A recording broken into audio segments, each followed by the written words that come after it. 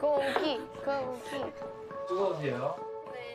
아 진짜 대박. 그걸 내가 진짜 너무 부럽. Thank you.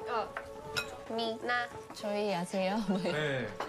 오시지 않으셨나요? 어 맞아요. 몇 번 왔어요. 연습생 때몇 네. 번 왔었는데. 와가지고 여기서 식사도 하시고 그때부터 기억나는데 이렇게 해줬어요? 맞아요. 맞아요. 처음부터 못 챙겨드려가지고 아 진짜요? 네 그래서 오늘 이렇게 챙겨주신 건가요? 많이 드세요. 네. 감사합니다. 감사합니다.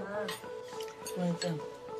나 갑자기 하우스한테 연락 온 거예요. 아, 허즈 페리스 있었어? She was like, "Are you in Paris?" And I'm like, "Don't tell me you're here." It was my first time meeting her. I felt like it was my fifth time. And she said the same. I'm like, "Is this our first time?" Like, yeah. And, like she's just like us. She just talks like us. America or? Yeah, I think she's from LA. LA, come on, LA. 근데 나, 나 파리 살고 싶어. 어, 나도, 나도. 저 한 1년. 우리 1년. 근데 파리 파리지 살고 그랬구만.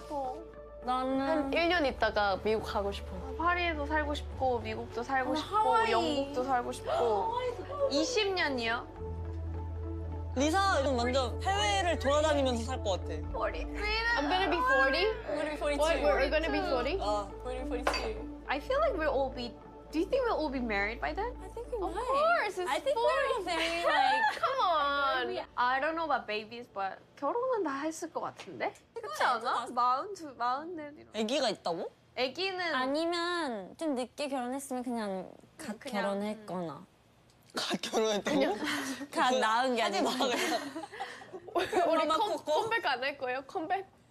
그 나이에? 블랙핑. 뚠뚠뚠. 허리 나갈 것 같아. 그때 춤 못 추지. 그때 서서 해야 돼.